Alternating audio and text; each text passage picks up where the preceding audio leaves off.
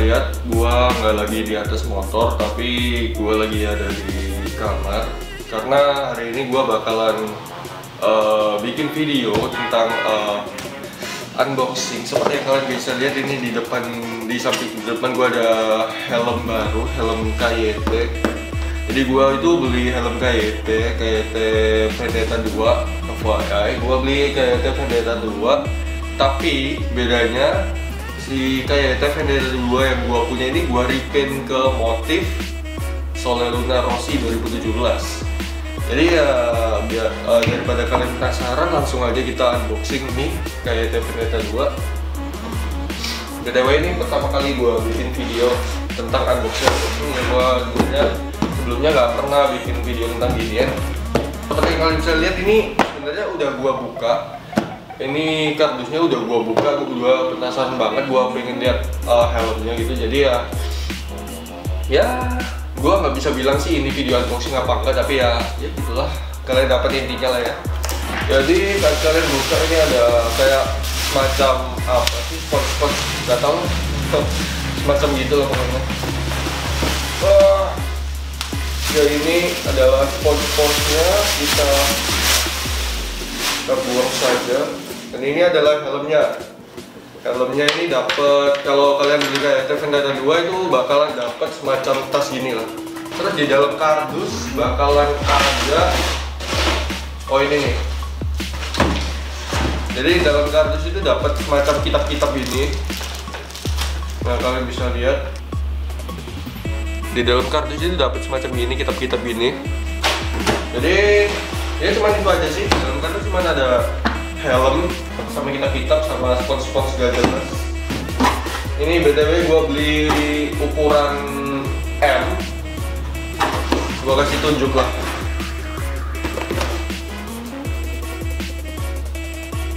Yo aslinya gue beli kayak Vendetta 2 Solid Black Matte Size M. Asli jadi aslinya ini adalah aslinya ini adalah size M dan warnanya itu adalah warna hitam gitu ya. Daripada kalian penasaran langsung aja buka ini. Tasnya tas helmnya pelan-pelan. Tas helmnya dibuka. Tasnya ini bermanfaat loh guys. Jadi mungkin kalau kalian lagi pergi-pergi lagi traveling gitu lagi touring kalian mau parkir motor kan uh, ya nggak tahu bahaya apa enggak jadi daripada taruh di motor mending kalian bawa. Jadi kalian bisa taruh tas taruh helmnya di dalam tas ini. Kita buka dulu dan jeng jeng jeng jeng. Tuh dua tiga. Nah ini dia. Nih jadi ini ini adalah KYT Vendetta 2 yang udah gua repaint ke motif Sole Luna kan gua udah bongkar-bongkar ini gua udah pasangin apa ini? Uh, spoiler di sini. Gua kasih spoiler sama gua udah kasih mounting GoPro di depan. Kenapa di depan? Ntar gue jelasin. Ya jadi ini guys. Ini adalah helm baru gua. Helm kayak itu Vendetta 2 yang gua repaint ke motif Sole Luna. Gua dulu jadi kenapa kok gua ngeripenya itu ke motif Sole Luna gitu ya? Jawabannya ya karena gua suka motif ini. Motif ini tuh menurut gua itu motif yang paling bagus dari semua semua helmnya Rossi ya. Nggak tahu kenapa jadi ya gua gua mau ngeripin ke motif Sole Luna aja gitu. Terus kalau kalian tanya bang kok ngeripinnya di mana? Ngeripinnya itu di Instagram. Gua nemu nemu iseng-iseng search di Instagram gitu karena gua waktu itu pengen uh, pengen gimana ya iseng-iseng lah lihat repaint helm itu. Tiba-tiba nemu ini gua dapet Instagramnya itu di @usen46 ntar ntar linknya gua taruh di deskripsi aja lah biar kalian jelas.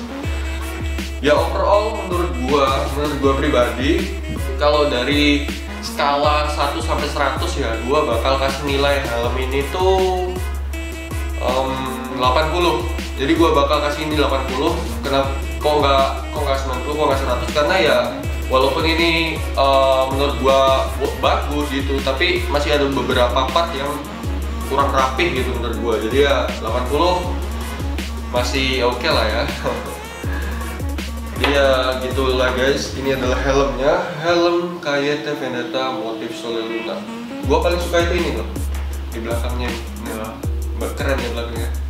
Oh iya ini, gua mau kasih lihat. Nih. Nah, kalau kalian bisa lihat itu ada tulisan Kokoh Moto Vlog Sama di sini juga. Gila keren ya. Jadi gua request ke orang itu ya ke orangnya yang repaint buat bikinin tulisan itu Koko Moto Vlog. BTW ini cabut aja lah nah udah sekarang resmi. Jadi visor bawahnya itu adalah visor warna clear. Dan overall ya memang gue sangat puas banget dengan helm ini karena menurut gue ini keren coy sumpah. Ini bagus sumpah. Nggak nggak bohong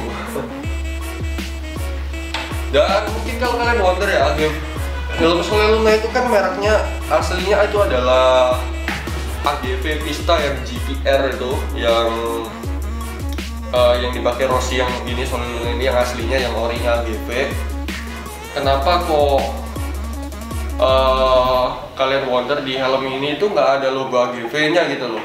Kalau kalian bisa lihat kan ini dari tadi gua tunjuk-tunjukin kan nggak ada logo AGV nya kan? Harusnya kan di sini ada logo AGV-nya, di sini juga, di sini juga, di sini juga gitu. Jadi harusnya ada logo AGV, tapi kenapa kok nggak ada logo AGV-nya? Karena ya helm ini adalah helm KYT gitu. Jadi menurut gua ngapain harus gua kasih logo AGV gitu kan? Jadi ya nggak nggak penting banget gitu. Jadi ya nggak usah. Jadi biarin polosan aja. Malahan gua kasih nih di ini gua kasih tulisan stiker gua Koko Motovlog itu anjir jadi lebih keren menurut gua jadi gitu ini helmnya helm kayak Vendetta 2 dan kalau kalian nanya kenapa kok kayak Vendetta 2 kenapa kok nggak helm yang lain kayak mungkin AGV K3SP gitu ya? Karena ya menurut gua dari segi harga uh, helm kayak Vendetta 2 ini masih cukup terjangkau ya. Harganya berkisar dari 700 sampai 1 juta ya. Jadi ya masih terjangkau. Terus dari build quality menurut gua juga ini uh, ini itu sudah cukup bagus sudah mumpuni gitu. Jadi ya nggak apa-apa. Sportsnya juga enak banget. Gua pakai gua pakai juga enak banget gitu. Jadi mungkin uh, coba langsung gua pakai aja lah yang ini ya. Coba pakai gua tunjukin. Ya ini jadi gua udah pakai helmnya. Kayak kendaraan dua. Tuh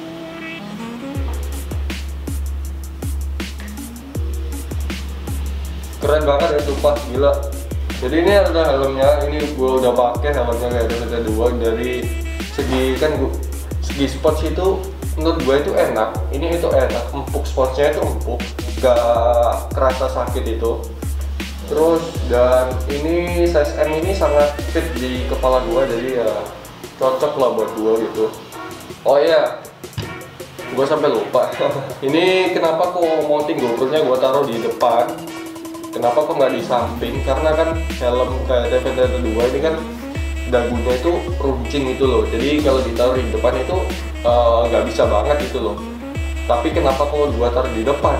Nggak kenapa kok nggak di samping karena menurut gua ya menurut gua pribadi kalau di samping itu memang fit jadi tinggal langsung tancap ini tapi uh, yang gak gue suka itu adalah setupnya. Setupnya itu kan jadi kalau kalian taruh di samping. Nanti itu bakalan ada empat bawah gitu seperti ini. Jadi kamera gua kamera lo bakalan gini nih. Nah itu gua gua nggak suka banget. Karena menurut gue ya kalau 3M ditaruh di sini sedangkan setupnya segitu panjangnya itu bakal membeba membebani 3M-nya jadi takutnya sih 3M-nya itu bakalan sering cepot sering cepot gitu. Jadi ya gua agak ngeri sih gitu kan bahkan kamera gue kan juga pernah jatuh tuh di jalan. Kamera gue pernah jatuh di jalan jadi ya gue gua nggak mau lah. Kalau sampai kejadian lagi. Jadi gue taruh di depan. Kalau di depan kalau di depan itu dia enaknya enteng. Kalau di samping tadi kan uh, enaknya itu dia rapi. Rapi tinggal langsung tancap cuman berat. Kalau di depan dia itu enteng. Dia itu enteng dan simple gitu jadi langsung plug di depan gitu cuma gua pasang J hook doang gitu udah selesai. Tapi nggak enaknya itu adalah saat kalian uh, ngakalin ini nih ngakalin 3M nya itu kalian harus kayak tumpuk-tumpuk-tumpuk 3M gitu tumpuk-tumpuk habis itu kalian lem gitu. Ini sebenarnya belum belum selesai sih. Ini mau gua lem pakai kayak semacam lemnya akuarium gitu. Lemnya akuarium lem kaca gitu biar makin erat gitu tapi ini udah kok tapi ya gua jaga-jaga aja lah. Jadi itulah kenapa gua taruh di depan karena pertama lebih simpel terus kedua enteng. Jadinya nggak ribet. Jadi ya ketiga alasan itulah kenapa gua taruh di depan ini nih. Jadi ya uh, mungkin video dari gua segitu aja guys. Ini adalah pertama kalinya gua nyoba nyoba nyoba unboxing helm helm baru dari KYT ntar kalau kalian penasaran repaint helm ini di mana gua bakal taruh linknya di deskripsi di bawah. Thank you guys for watching and until next time I'll see you guys tomorrow. Lit Squad